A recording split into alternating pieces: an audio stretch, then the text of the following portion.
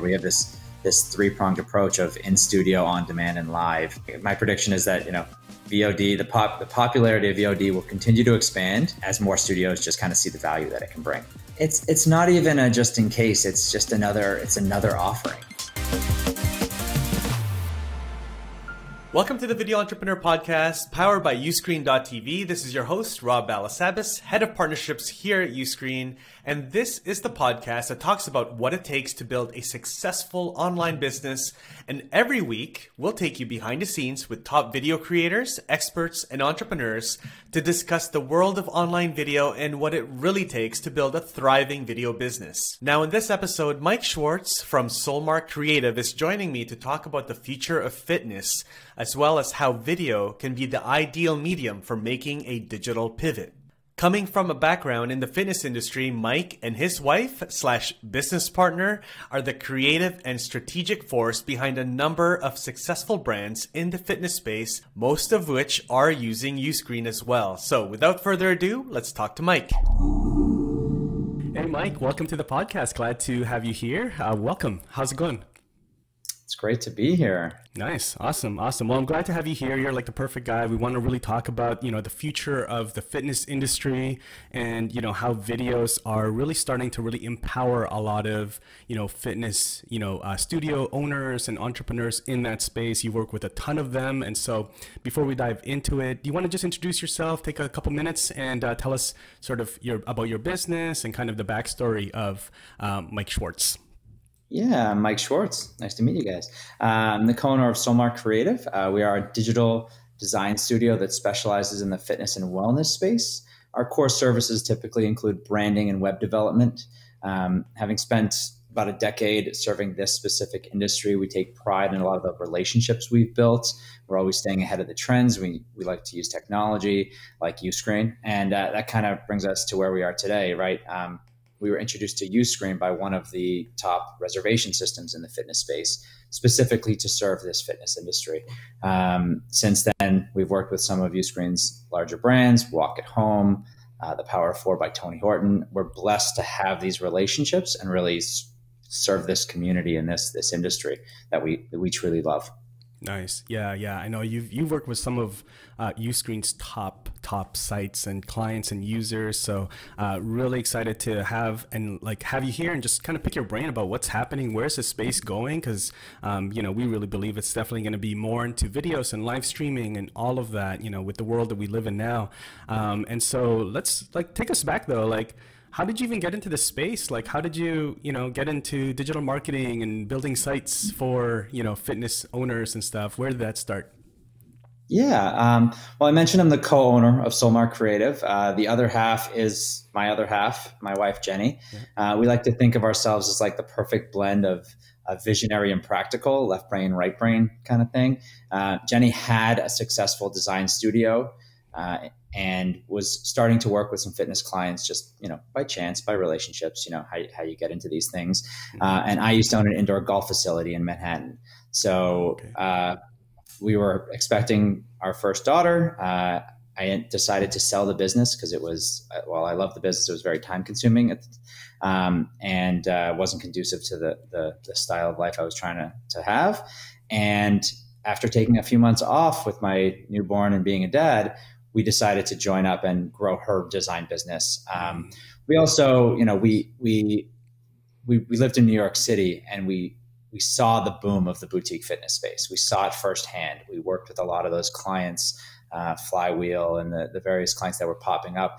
So we saw what was happening and we wanted to be a part of it. We love fitness. We really wanted to be a part of it. So we jumped right in and we we specialized in that space. Um, I feel like having my golf facility and, and, and having that experience really helps me connect with a lot of clients because I can, I can understand that a lot of the challenges that they go through. Uh, it, it seems like, you know, we're just going to build a studio and everything's going to be great, but you have construction delays, you have utilization issues, you have, you have all kinds of things that come up along the way and the challenge of starting your own business. And having been there myself, I often find myself relating to clients and helping them through that more than just so on like uh, we're building you a website uh, that, that, they can connect and really I can help them help them through a lot more.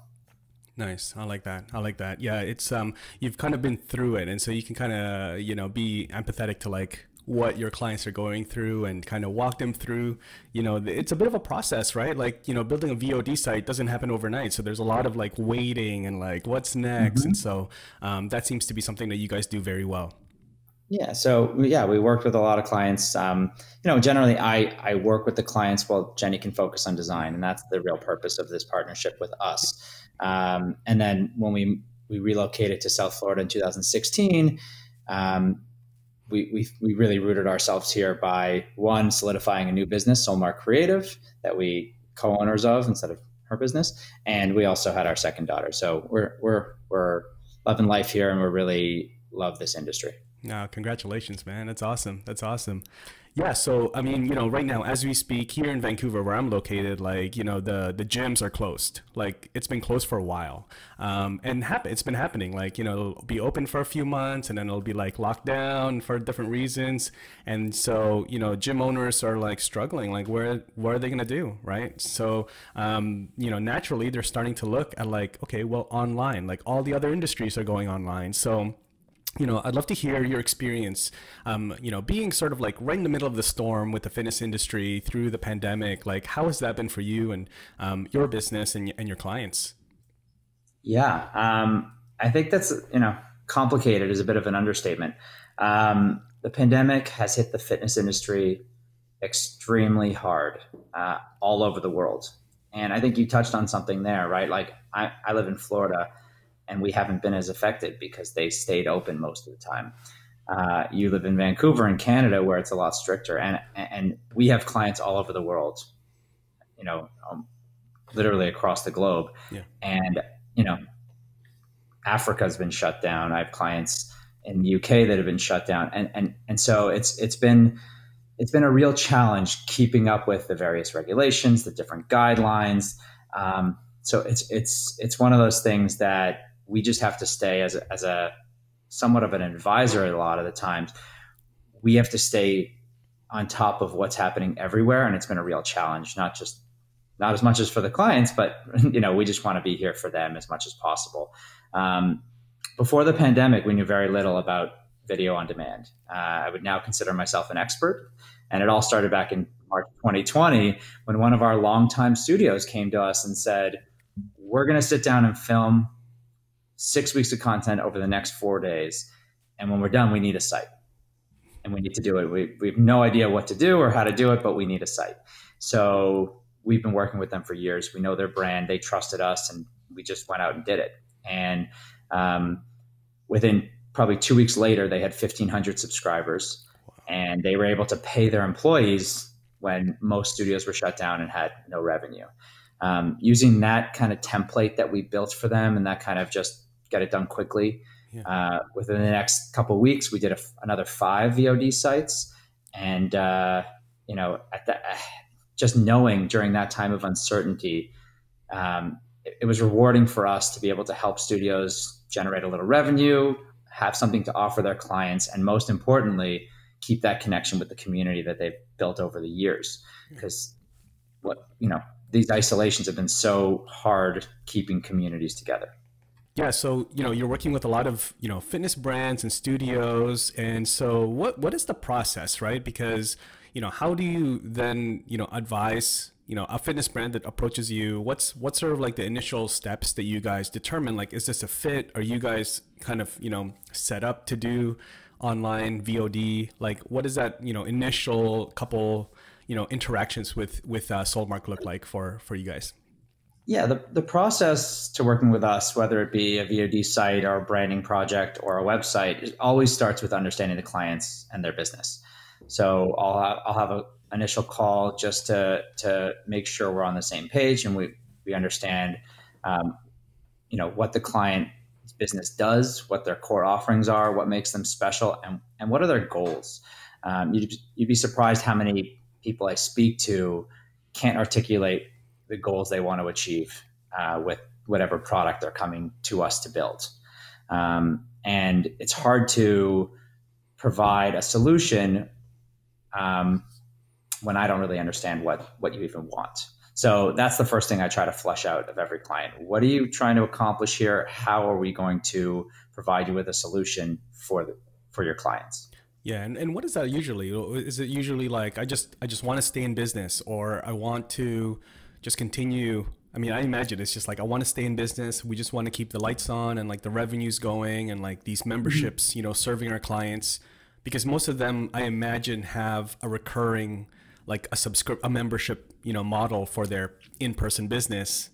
And so so is it just a matter of like okay, let's figure out how you translate this online? Is that yeah, I, have seen a lot of changes over the last two years of how this has been approached. Uh, like I said, at first it was I just need something I need something to offer my clients, right. and I don't want it to be Facebook or Facebook Live or behind some kind of password protected thing that we've scratched together. Right. Um, so now it's it's really starting to become a core piece of people's business, mm. uh, and we're seeing it more and more. Clients are are trying to use video on demand to expand their reach and just offer it as a core piece of what they're doing. Mm. Um, yeah.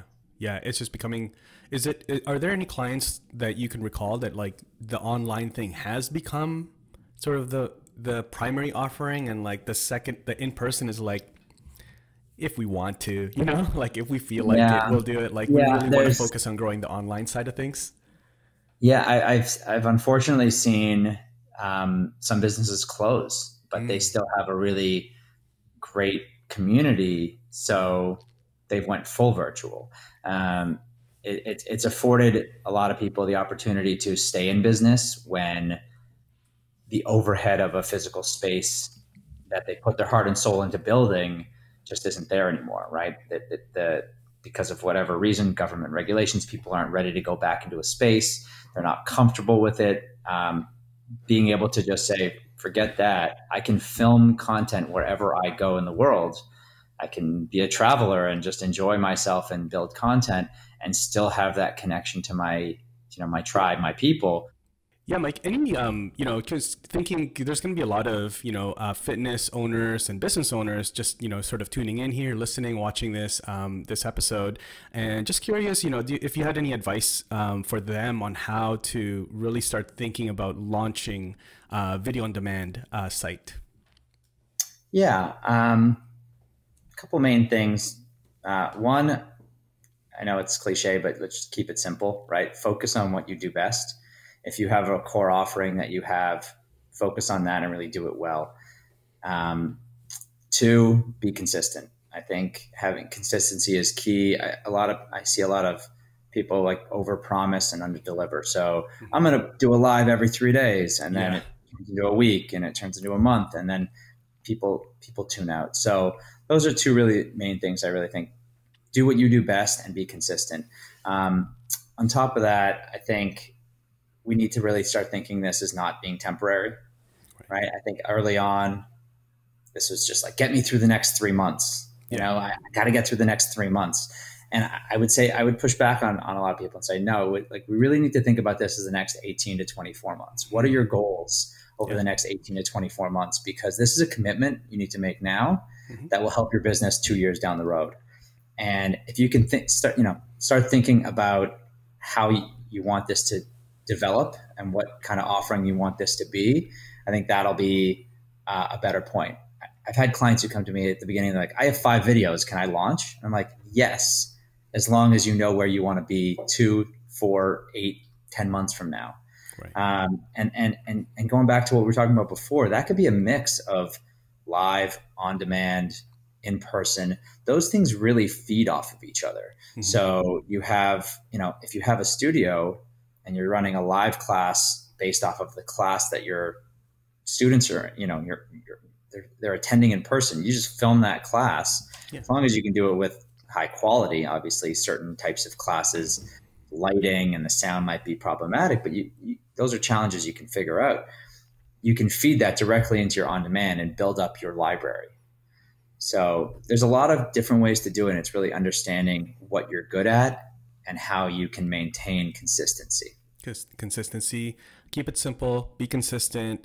Um, what is, you know, what's, what's a typical like timeline, just expectations. What are some of the maybe some of the things that people are the expectations versus reality, you know, when launching a VOD site. Um, obviously, it doesn't happen overnight. There's a bit of work to do, right? And mm-hmm. so, um, what what are some of those expectations that you're having to like kind of debunk, you know, with your yeah. clients? Well, with us in particular, we do everything. We try to make everything custom to your yeah. brand and to your experience. So there's a little bit more than just dropping things into a template, right? Mm-hmm. We, we come up with a plan that's based on content. Uh, so we are content driven in every single way. We want to really understand who you are. So the first part is really getting that content together. And if if you're not prepared with how you want people to see you, and we can help with that, but if if you're not prepared to tell us like this is my offering and this is what I want to deliver to, to people and this is how I want people to understand and use my product, then that might take a little time to do.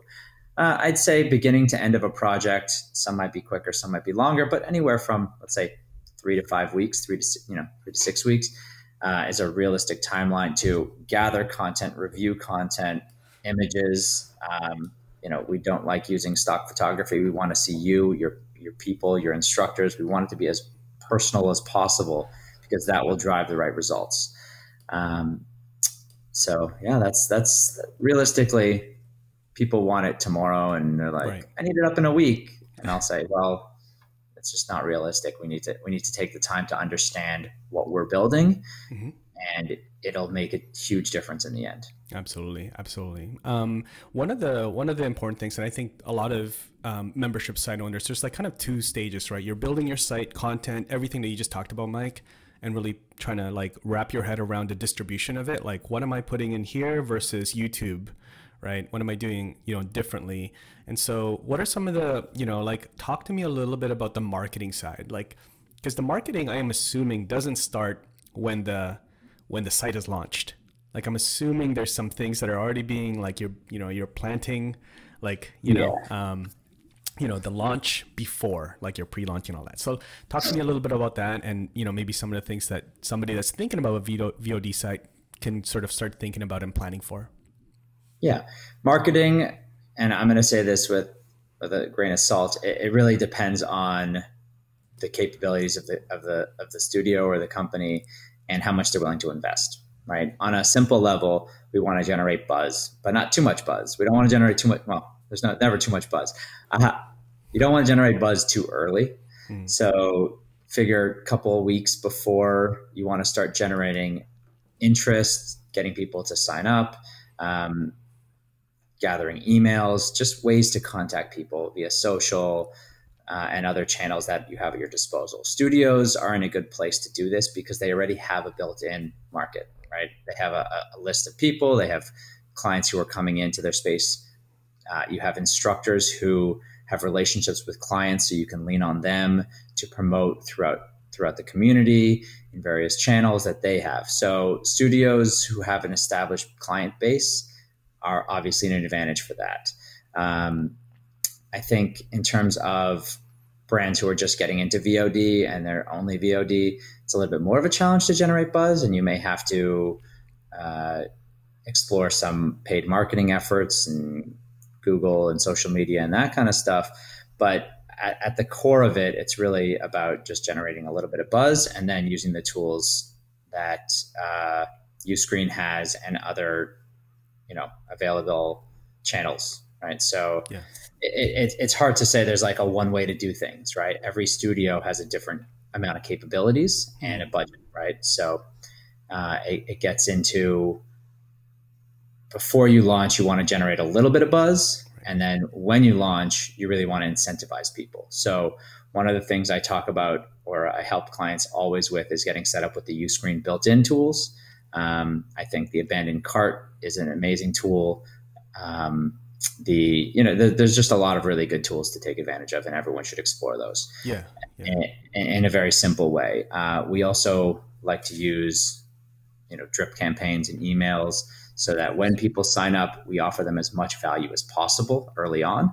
So we'll take it a little step further than the general welcome email with Uscreen, and we'll do a drip campaign that, that maybe has three or four emails that go out during a trial, gives them a little bit more navigation of the site, and then also maybe some offers to share it. Um, I personally love affiliate programs; they're wonderful. Yeah. I'm all about my that. Video yeah. screen, but but just you know, there's there's a whole different way to use them when you're um, when you have a when, when you have an offering like like a you know you know a VOD platform, yeah. you have you can say to someone, you love it, share it with three people, and yours is free.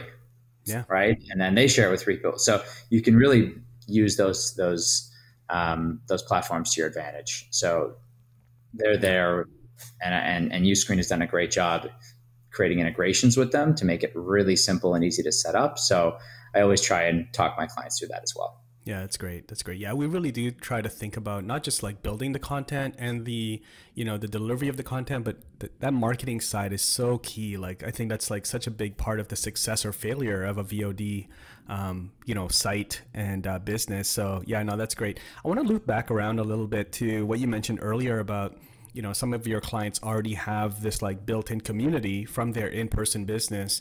And so uh, would would be really curious to hear you know how are how are you seeing some of those businesses translate that in-person community you know hanging out and you know grabbing a smoothie after like that, that kind of stuff doesn't happen anymore right if you're online. And so or maybe it does virtually but how are you seeing some of these you know entrepreneurs and um, studio owners really like sort of migrate their community online and what are some cool ways that they're doing to engage their communities online?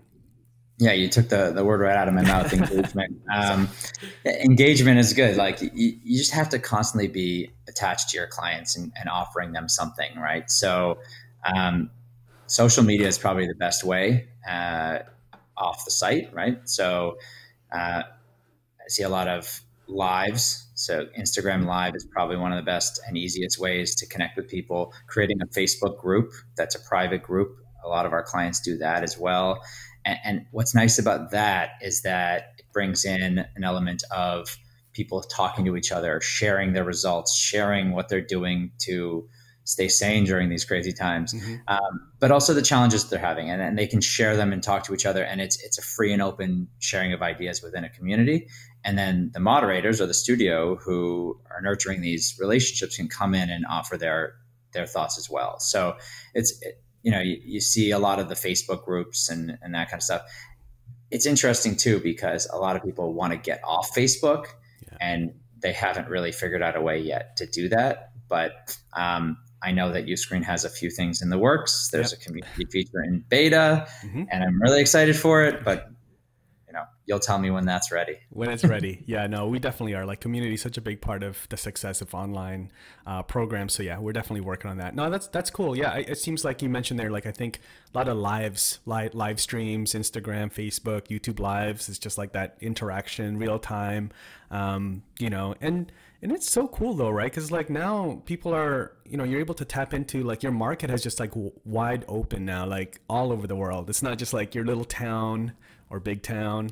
Um, it's like all over the world. So you know, it's it's it must be such a cool experience for your clients when they first start seeing like, hey, somebody from like across the world is like watching our stuff, you know, and uh, interacting and like is a fan and a customer. That must be such a cool experience.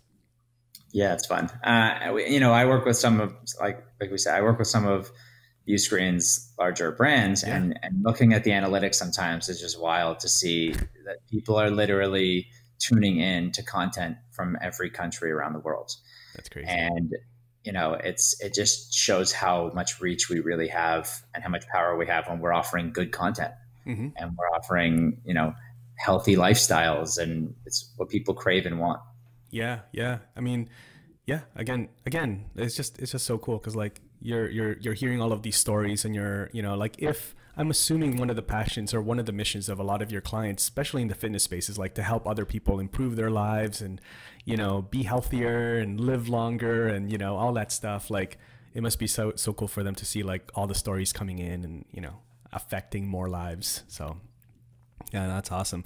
Um, what is your prediction? Uh, you know, as we, you know, are, it's been a couple years into this pandemic now, and, you know, what's your prediction for the fitness industry, you know, for this year, or like the next two three years like Are we just gonna yeah. like? What's your prediction? I don't want to. I don't want to answer it's the hard. question for you. uh, it's uh, it's hard. You know, I think like when this all started two years ago for us, uh, we saw VOD as like something that could help people. Um, and I always thought of it as like a longer term and you know you have to really take a two to three year approach to what, what you were trying to build. Um, but it's quickly become a necessity. And and you know i said before we have this this three pronged approach of in studio on demand and live that that just feed each other that feed into this cycle of content that you can build for people. So um, you know i think 2020 was really uh, a weird year. Uh, and i think unfortunately i hate to say i think that 2022 is going to be a lot like 2021